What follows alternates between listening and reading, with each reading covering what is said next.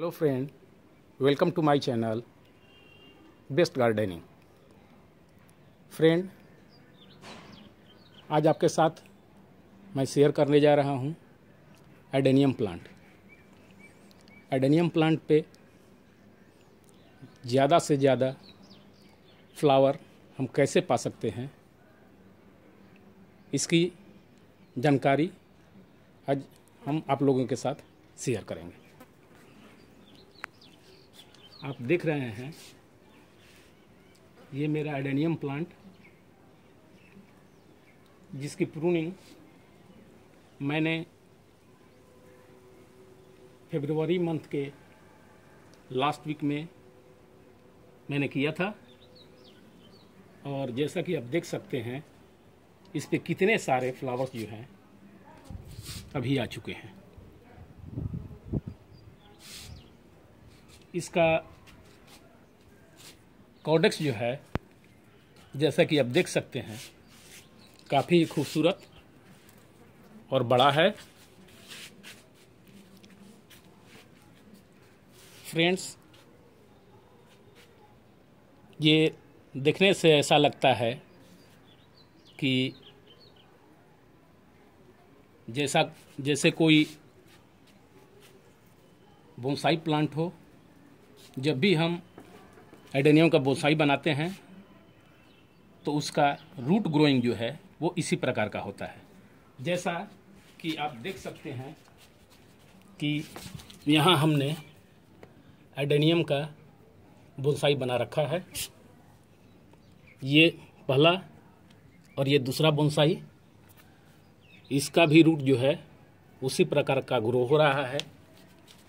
लेकिन यह रूट जो है, वो नेचुरली ग्रो है। इसमें हमने कोई छेड़छाड़ नहीं किया इसी प्रकार, और हमारे पास जो एडेनियम है,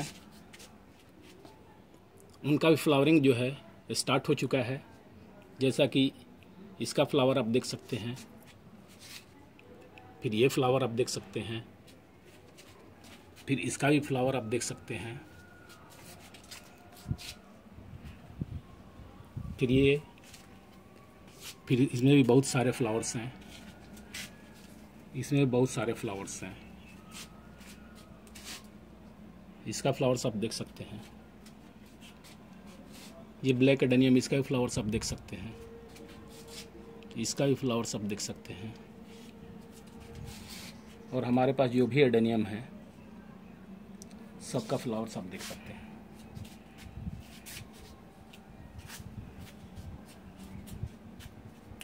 फ्रेंड्स।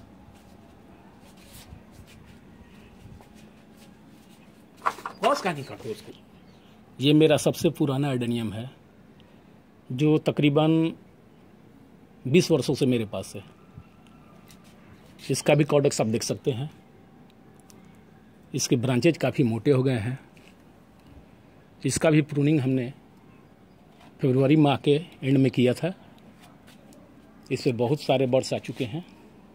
फ्लावरिंग भी शुरू हो चुकी है। तो फ्रेंड्स, हम फ्रेंड्स, सबसे ज़रूरी ये है कि यह एक डेजर्ट प्लांट है, जिसे डेजर्ट रोज भी हम लोग बोलते हैं। और यह जो है, बहुत कम केयर वाला प्लांट है, लो केयरिंग प्लांट है, लो मेंटेनेंस प्लांट है। तो इसमें हम करेंगे क्या कि पहले हम जानते हैं कि ज़्यादा से ज़्यादा फ्लावर पाने के लिए या एडेनियम के केयर के लिए हम क्या कर सकते हैं? सब कि यह प्लांट हम जहाँ भी रखें, वहाँ कम से कम पाँच घंटे का धूप इस प्लांट को मिलना चाहिए। कम से कम पाँच घंटे। उसके बाद इसका सॉइल जो है, वो सॉइल जो हम इसमें यूज़ करते हैं, उसकी जानकारी हमको बा, हम आपको बाद में कभी वीडियो बनाकर और आपके साथ शेयर करेंगे। लेकिन इसका सॉइल जो होना चाहिए, वो वेल ड्रेन सॉइल होना चाहिए, जिसमें पानी आसानी से जो है, वो बाहर की ओर निकल सके। अब बात करते हैं इसके फर्टिलाइज़र की, कि हमने इसमें कौन सा फर्टिलाइज़र यूज़ किया है, जिसके चलते इतने सारे फ्लावर जो हैं, वो एडेनियम पे अभी आ चुके हैं। ये है इसका फर्टिलाइज़र यह लिक्विड फर्टिलाइज़र है। इसी फर्टिलाइज़र का यूज़ हम एडेनियम के हर पौधे में करते हैं। दोस्तों, अब ये जानना ज़रूरी है कि यह फर्टिलाइज़र जो है, वो हमने बनाया कैसे? और इसमें कौन कौन से? यह पूरी तरह ऑर्गेनिक फर्टिलाइज़र है। इसमें ऑर्गेनिक फर्टिलाइज़र के अलावे हमने कोई चीज़ इसमें मिक्स नहीं किया। तो सबसे पहले ज़रूरी ये है कि हम इसमें कौन कौन सा फर्टिलाइज़र जो है उसमें ले सकते हैं और क्या क्या इसमें ऐड किया हुआ है। तो पहला जो है क्योंकि अभी गर्मियों का मौसम है, इसलिए काउडंग फर्टिलाइज़र जो है, उसका यूज़ हम नहीं करें तो ही अच्छा है। अगर करें भी तो वो कम मात्रा में यूज़ करें। तो उसकी जगह है, हम बर्मी कंपोस्ट जो है। उसका यूज़ कर सकते हैं। इसमें बर्मी कंपोस्ट हमने लिया है। वो लिया है 200 मिलीग्राम्स उसके बाद हमने इसमें ऐड किया है मस्टर्ड केक यानी सरसों की खल्ली। उसकी भी मात्रा 200 मिलीग्राम। उसके बाद हमने इसमें ऐड किया है नीम खली नीम खली एक बहुत बहुत ही अच्छा पेस्टिसाइड है। इसलिए फंगल इन्फेक्शन के लिए हम उसमें नीम खली यूज़ करते हैं। ये तीसरी चीज़। चौथी चीज़ हमने जो इसमें ऐड की है, वो है बनाना पील बनाना पील का लिक्विड जो होता है, उसको लिक्विड फॉर्म में करके और उसका यूज़ हमने इसमें किया है। और हमने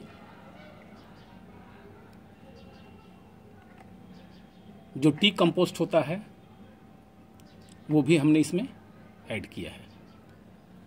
उसके बाद हम इसमें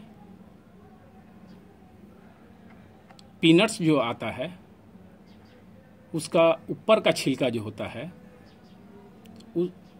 ऊपर के छिलके को धूप में सुखाकर और उसको आप क्या कर सकते हैं, या तो मिक्सी में या फिर किसी प्रकार उसका डस्ट बना लें और उस डस्ट का यूज़ हमने इसमें किया है। इतने सारे यूज़ करने के बाद हम क्या करते हैं कि जैसे यह बकेट है इसमें जो है, हम